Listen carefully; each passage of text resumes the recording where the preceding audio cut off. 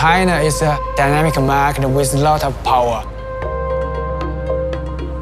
You see, we have so many young people who have so many ambitions. My name is Wang Jiabei. I'm design engineer for Siemens in Beijing. Siemens culture is always innovation.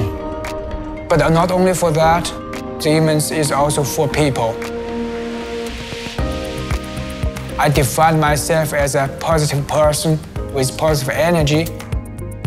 With development, I have more responsibility and, um, and also I get a chance to learn more about management skills, how to get people together, to work together, how to build up the team.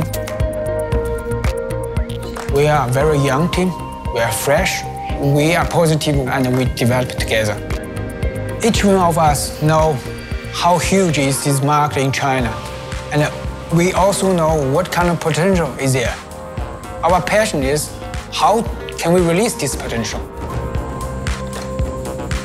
But it's also very important that we have the chance to relax and to get new energy from outside. We try to find inner peace for ourselves. That is very important for me. If we look forward, China will definitely change quite a huge in the next 20 years. For us, we have the excellent opportunity in Siemens. We can influence the people, use all the excellent technology to change the world.